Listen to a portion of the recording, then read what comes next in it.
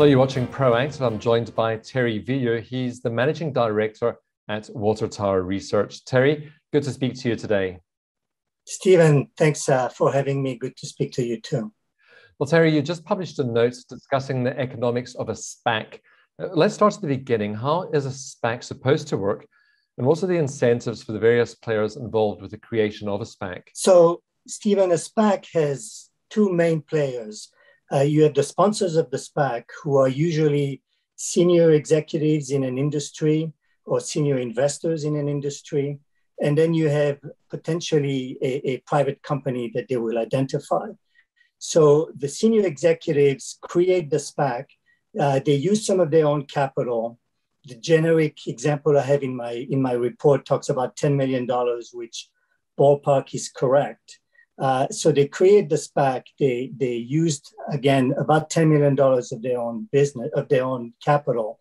And then they go out and try to identify an investment uh, for the SPAC to buy for the private company, the SPAC is basically a vehicle to go public in a very efficient and uh, and uh, uh, time uh, time efficient and cost efficient way. The other benefit for the private companies that the SPAC very often can give them instant credibility. Uh, they are chosen by well-known executives. the pricing is determined by them. So it's almost like going pri- going public, but very fast uh, and, and, and less risk and uncertainty for them. Well, you mentioned in your notes the three stages of a SPAC stock. Can you recap what these stages are and the implications for investors? So when the SPAC goes uh, public at the IPO, typically ten dollars is is the is the stock price that people are using, um, up to the point where a transaction, a proposed transaction, is announced. Uh, the stock will typically be right around ten dollars there's a put option for the investors who have bought the shares. So they can put the stock back to the, uh, to the company at any time up to shortly after a transaction is, is approved. So the first stage is IPO to announcement of a transaction. And there really we see the stock being right around $10. Once a proposed transaction is announced, um, we see some potential upside there. You still have the $10 floor, uh, but depending on how attractive the proposed transaction is, you can have some upside uh, uh, with the stock. And then finally, the third stage is really kind of the real IPO for the business, if you will. Uh, the shareholders vote, they approve the transaction, and shortly thereafter, the put option is gone, i.e., the shareholders who hold on to the stock can't put it back to the company. And at that point, the stock will trade based on fundamentals uh, in the longer term. In the shorter term, you know, might also be affected by you know short-term buy and sell from uh, from from various uh, investors. Now we see quite a few SPACs struggling post acquisitions. Are there specific issues with the structure that account for these challenges? Well, so when the SPAC goes public, there's a really strong incentive for the SPAC sponsors to do a transaction and I don't want to say to do any kind of transaction, but doing a transaction is, is really key. They typically have two years. Uh, sometimes it's a short term. It seems to be the trend now to 18 months. So they need to do a transaction. If they don't do a transaction, uh, the SPAC sponsors basically lose the $10 million or so that they've invested in creating the SPAC. Um, and then the investors in the SPAC stock just get the $10 back. So again, there's a very strong incentive to do a transaction, and I think that pressure uh, can maybe lead to um, to, uh, to to transaction that might not be uh, as optimal as we see. So you have that that the, the sponsors are on the clock to do a deal, um, and uh, again that that pressure might uh, might make it difficult or, or might make, force them to do maybe not the best deal possible. Thierry, should fundamental investors just stay away from these stocks?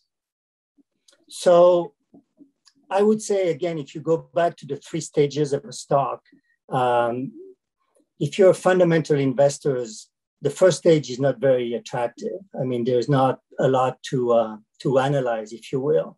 The second stage might become interesting because again, at that point, uh, you can you have something you can look at, you can analyze. Uh, maybe you like the business, maybe you don't. Maybe you like the valuation, maybe you don't. And then the first stage is clearly a, a point where, uh, as a fundamental investors, there is potentially some really good opportunities there. In particular, for uh, situations where the original investors are trying to get out uh, for a reason or another. Uh, prices might uh, might be under pressure because of that, uh, and I think I'm seeing a lot of situations where there's very little sponsorship from the street, and where you could have the real typical, you know, out of favor situation developing. and if you combine that with a fundamentally sound business, there could be some really interesting opportunities at that stage. Do you have any advice for the managements of these companies after they've gone public? They now have to run public businesses in what seems to be a generally difficult environment for them. Well, having gone public through the SPAC route, they've avoided some, some really tedious aspects of the IPO process. Uh, a lot of disclosures, um, a lot of uh, investor engagement, investor education, uh, trying to identify long term fundamental holders, and so on. They've really bypassed that. Uh, once the shareholders vote, they have very little control as to how many of the investors in the SPAC are going to stay as long term investors. And then on top of that, they have another challenge, which is that typically there's a lockup period for the SPAC sponsors of about six months so the market knows, well, six months after the shareholder vote, you might have some pressure from, uh, from, from some big block selling. So the management of the, of the company um, really is to do kind of the IPO job in, at, at, at a delayed time. And that means engaging with investors, uh, uh, providing uh, all the uh, information, the education, uh, making themselves accessible, uh, trying to get some research on the company published. Um, there's a lot of work to be done, and, and it really needs to be done. And sometimes it has to be done in a somewhat difficult environment where, again, you have a shareholder transition going on um, uh, uh, right after, again, that shareholder vote. Mm. Thierry, do you think the generic structure of SPACs can evolve to produce better outcomes than we seem to be seeing in today's markets? Um, yeah, I think the main, you know, the main problem at this stage is that the sponsors get typically 20% of the SPAC for and and and what they put into that into what they put in the SPAC to get that that uh, that uh, shareholder percentages is is usually again around around 10 million or so.